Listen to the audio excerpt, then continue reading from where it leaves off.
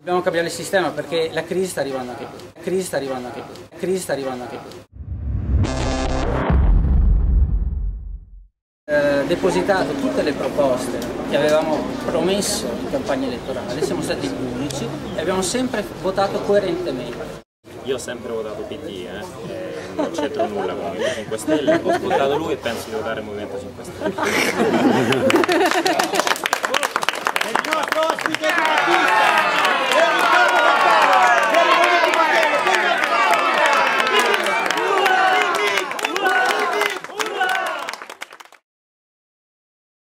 L'idea serata era quella, della giornata era quella di un confronto, un confronto magari sulle vostre perplessità, delle, o le vostre domande, le vostre curiosità sul nostro lavoro in Parlamento che è fondamentale.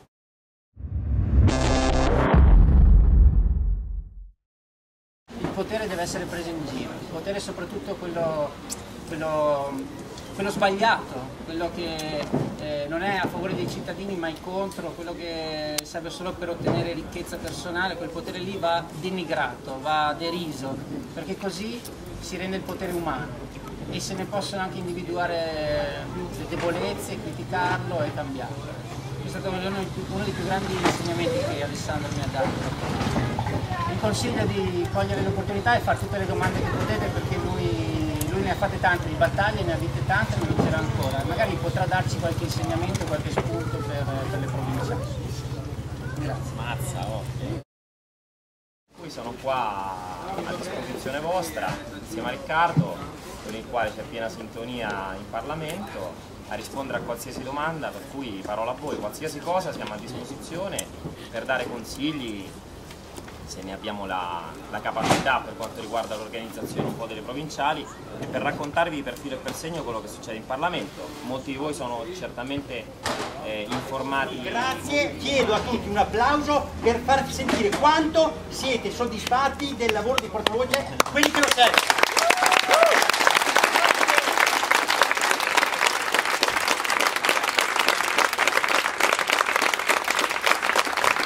E visto che sono stratosferici, sono modesto.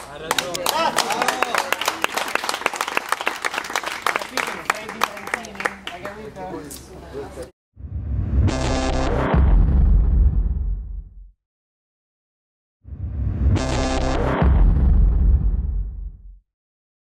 Vediamo un po', vediamo- cerchiamo una risposta. No, non da democristiani però, eh. Da democristiani cioè, ho querelato per molto meno. eh. Ah, E... State, state riprendendo? Sì, ma se vuoi sospendiamo, c'è una cosa troppo I partiti sono volgare. delle merde.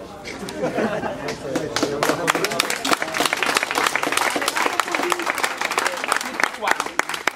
Non perché non ci siano buone persone all'interno dei partiti, ci sono, e come ci stanno nel PD, anche se eh, si nascondono molto bene, ci stanno anche nel PDL, nella Lega, anzi io, io personalmente pur essendo proprio eh, all'antitesi rispetto alla Lega, riconosco che ci sono anche buone competenze all'interno dei deputati della Lega. Il problema è la partitocrazia.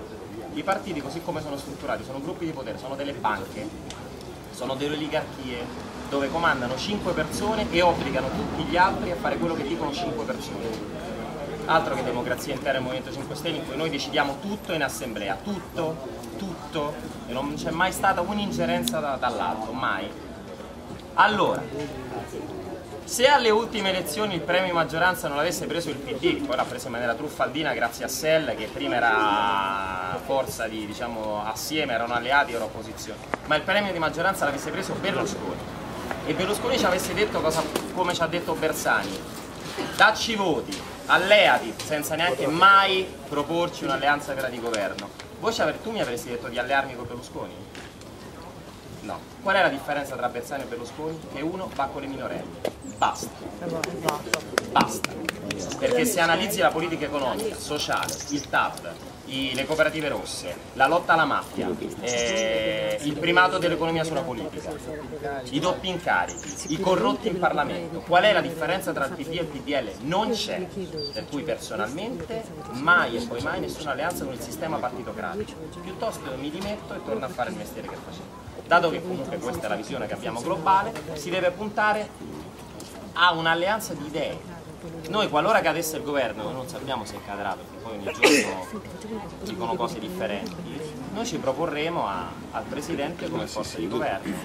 Troveremo un nome, anche se poi il nome lo fa il Presidente della Repubblica, e un progetto con varie idee e le presenteremo non al PD ma al Parlamento, a chiunque, a qualsiasi deputato volesse votarle. E poi i deputati si prenderanno la responsabilità di, di non votarle. Cinque idee, una legge elettorale, così si può in caso di andare al voto non c'è questo ricatto del porcello, una legge sul conflitto di interessi oggi teoricamente si può fare, ma sapete perché non la fanno? Non perché Berlusconi.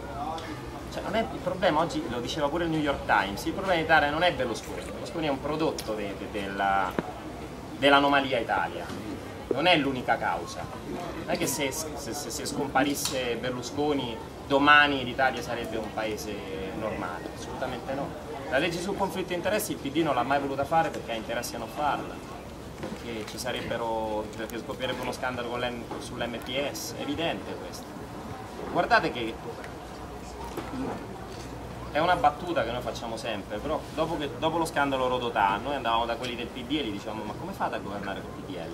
Ora che abbiamo conosciuto bene il PD andiamo da quelli del PDL e gli diciamo ma come fate a governare con il PDL? Questa è, è- è la dinamica parlamentare. Non, non sono battute, è vero, Io personalmente sono molto più odiato da quelli del PD che da quelli del PDL.